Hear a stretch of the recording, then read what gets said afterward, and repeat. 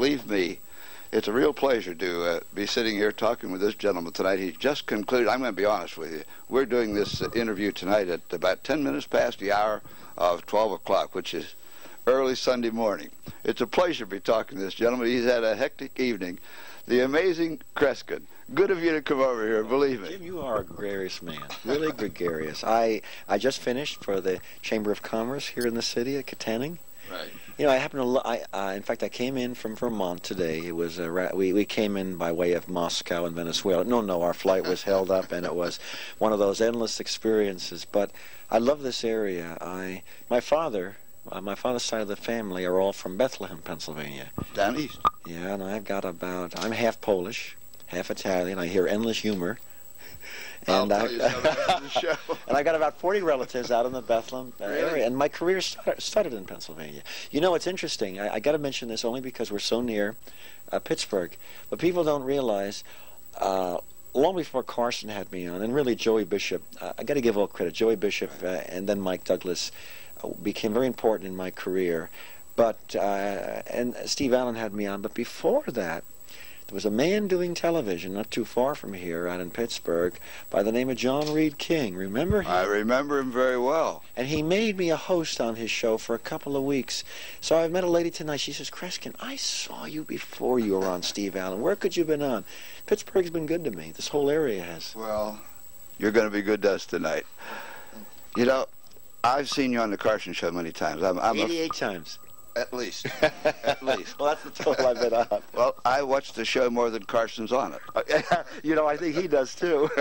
Listen, the man is, uh, the man's a genius in his own right. When you think of the, uh, I'm interested in communication. I'm interested in people, and to think that he's been on longer than anybody has done it, he's a hard taskmaster on himself and uh, remarkable.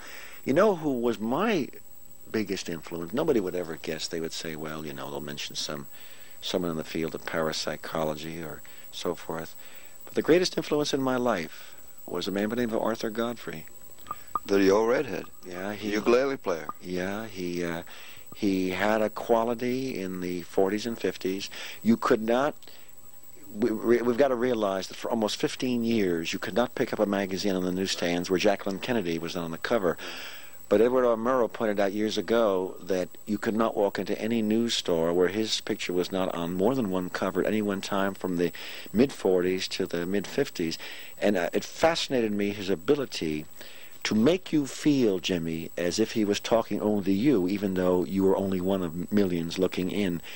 And that's what really triggered off my fascination with the mind. That's really what did it. Uh, it was not not seeing some dramatic uh, feat on the stage.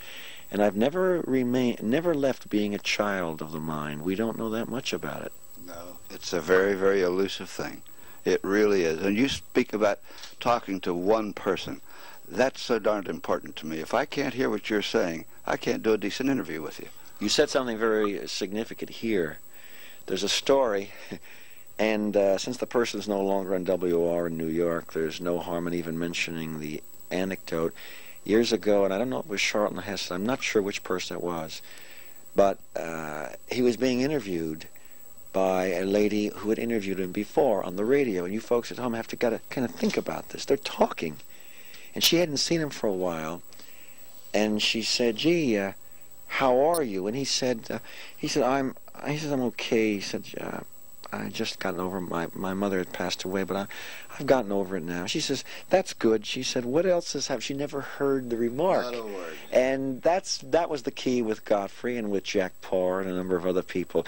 We don't. Uh, the truth of the matter is, psychologists and behaviorists have studied Jimmy and found that in a telephone conversation, if you hear 40% of what's said, that's remarkable. We don't really hear as much as we did in the past, and the reason may be in part because our world today is so filled with sound. It's a barrage.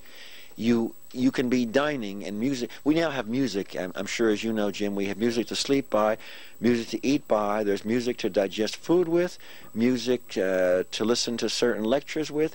I understand there's music if you want to be ill or sick to your stomach. They're preparing music to help in that area. So we learn to turn it off after a while. there, by the way, the you, you'll notice, folks, there is no music right now. It's pure verbal sound. Well, after the day you've had, uh, I think tonight you're going to rest well. You know, and well, yes, especially since you were going to mention. You, he asked me just before we started. I find my check, and uh, some people, uh, I guess not too many anymore, uh, are uh, may not know that in all my programs, my check is hidden. Right, I know this. And the uh, and the Chamber of Commerce here took my check. I left. I left the room under guard in fact, I want to tell you, not only was under guard, but I had a doctor with me and also a priest. So when I came back, I couldn't lie. That's to take you both ways. take me both ways. So anyway, they uh, the agreement was if I didn't find my check, the audience hid it anywhere, and that's a pretty large. Uh, uh, that's yeah. a whole. That's an arena, and if I didn't find it, I would forfeit it.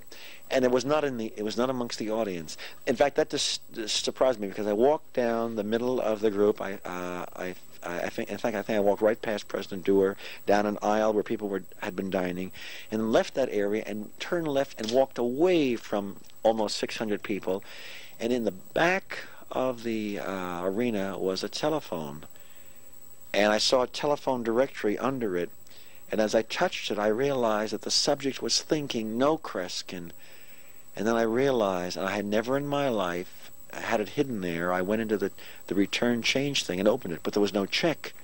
And I opened it again, there was no check. I started talking to myself. I was saying, this is crazy. Why am I doing this?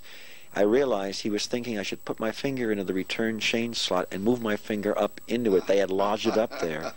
And out came the check. Talk about Carson, though. What nobody knows is a few years ago, when a show was over on the Carson show, and the viewers never knew it, the producer came out and said, okay, Kreskin, you've been talking about this check test so long. Fine your check for tonight's Carson appearance. We're off the air. You're not on any time bind. 320. And I went over and I went around and I went to Carson's uh, chair. And I finally went to Ed McMahon's chair and I took out the cushion and reached down in it.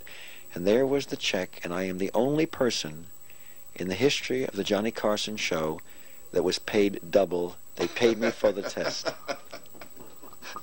You didn't work for scale that night. no, they gave me the scale. Good being here, Jimmy. Can I ask you one fast question? I know you're tired. Kreskin, well, how did you come up with the name Kreskin? My name was originally Kresge. Same, um, half Polish, the same as the department stores I had no in, uh, financial interest in, it, or my career wouldn't have taken so long to get together, to get my act together, if I will. I, but I didn't want a name that was competing with a uh, another name that was established. So when I was in junior in high school, I went up to my uh, one of my teachers, a Mrs. Smith, one morning, either during homeroom, I think it was during homeroom period, and I said, Mrs. Smith, I want to put together a new name, but I don't want to lose all of Kresge. And the night before, I had I decided to drop the GE. I added K. K was the first letter of a man by the name of Kellar. Kellar, K-E-L-L-A-R, was a famous performer, the turn of the century, who was uh, mystified people. I-N were the last two letters of Houdin, H-O-U-D-I-N. There's a postage stamp out of France commemorating the anniversary of Houdin's death. He was a Frenchman. And another American took Houdin and added I to it and made Houdini. So I took the last two letters of Houdin, the first letter of Kellar, added K-I-N to Kreskin, and made the one name. Not only is it my original my name, there's no other, no one else has the name. It's the only name I have, and it took me a while to convince credit card people and airline people that I only had one name. The airline people, because most airlines, I think, as you know today, are not run by human beings; they're run by computers. And they are uh, very scary to deal with because they don't have. we won't go into that. but anyway, so it is only one name, and uh, I've stayed with it, and it will be like that for the rest of my life. Okay, I know you're tired, and I do appreciate your coming over. Good people, you've had the pleasure, as I've had, of sitting here listening to the amazing Kreskin. again, I'd like to thank you very much for coming down on the, this private interview. I want to thank Bob Dorr, who's sitting over here in the audience, and Nice also, man. oh, wonderful fella. I won't be able to talk to him tomorrow, but tonight he's tonight he's a wonderful fellow. And your road manager, Steve Wood, sitting over there. Thanks, That's plug. thanks very much, Steve. Appreciate it. Well, good people, we'll see you in a little while. Stay tuned, won't you?